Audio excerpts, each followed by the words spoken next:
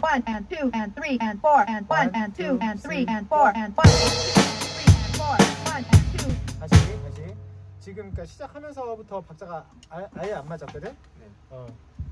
그, 그 박자 나오는 거 잘 듣고 1 and 2 and 3 and 4 and 1 and 2 and 3 and 4 나오고 있으니까 마음속으로 세고 준비가 다 된 것 같으면은 그 다음에 시작해도 돼 알겠지?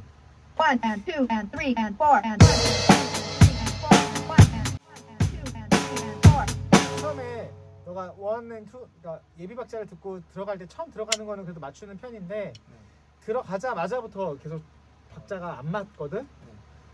어 너가 드럼 칠 때 이 지금 메트로놈 기계 소리가 안 들리진 않지. 네. 연주를 할 때 너가 스스로 박자를 세니? 스스로 어, 잘하는지. 잘안 세. 음. 그러니까 메트로놈은 박자가 맞는지 안 맞는지 내가 세고 있는 박자가 맞는지 안 맞는지를 확인하는 용도로 써야 되거든. 어. 얘가 얘만 의지해 가지고 계속 얘가 들리나 안 들리나 하고 들리는 데다 맞춰서 이렇게 하는 게 아니라 예비 박자를 들으면서 1 and 2 and 3 and 4 and 1 and 2 and 3 and 4 and 나오고 있으면은 아 내가 계속 이 카운트를 1 and 2 and 3 and 4 and 하고 하는 거고 네. 이걸 하면서 연주를 할 거 아니니 네. 할 때 메트로놈이 계속 나오고 있으면 내가 이 얘를 기준으로 내가 빨라졌는지 느려졌는지를 확인을 해야 돼. 네. 그러니까 이 확인을 한다는 전제는 너가 어쨌든 박자를 세고 있어야 네. 뭘 확인할 거 아니야 빨라졌는지 느려졌는지를 근데 세고 있지를 않으면은 아무리 기준이 있어도 뭐, 뭐, 뭐 이게 맞는지 틀린지를 확인할 방법이 없- 없는 거잖아 네. 그치? 네. 그래서 제일 중요한 거는 박자를 계속 세야 돼 네. 그러니까 지금은 이제 연습 단계고 초보 과정이니까 자꾸 내가 밖으로 소리를 내서 세라 뭐 이렇게 얘기를 할 건데 네. 나중에는 이제 이게 훈련이 잘 되면은 밖으로 소리 내지 않더라도 자연스럽게 동작을 하면서 박자가 좀 내 안에서 이렇게 세워지, 세워지거든 네.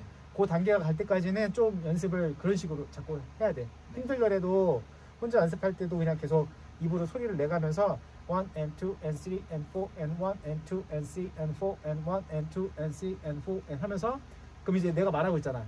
말하면서 치고 있잖아. 그런데 봐봐 One and 이런 거야. two and three and four and one 이렇게 and 나오고 two 있어? and 네, three and 시작했어. four and one One, and two two, and three, three and four, four and one and two and three and four and 1 one and 2 and 3 and 4 and 1 and 2 and 3 and 4 이걸 하면서 귀로는 얘, 내 소리랑 얘랑 계속 듣는 거야. 들으면서 내가 말하는 게 얘를 기준으로 했을 때 빨라지고 있는지 느려지고 있는지 아니면 잘 맞고 가고 있는지 그걸 확인하는 하는 거지. 그래서 1, 2 and 3 and 4 and 1 어, 잘 맞고 있구나 이렇게 확인하면서 계속 가는 거라고. 그러면은 그러니까 이런 훈련들이 계속 꾸준히 되면은 박자가 왔다 갔다 하거나 그러지 않- 않아. 네. 어. 근데 그게 안 되니까 지금 예를 들어서 저제 밴드 친구들이 잘 안 맞는다고 했잖아. 너가 박자 빨라지는 것 같기도 하고. 네. 어 일단은 첫 번째 이유는 어 다른 사람한테서 말고 너한테서 찾을 수가 있지. 네. 너가 박자가 안 세지니까. 네. 그지? 다시 해봐. One and two and three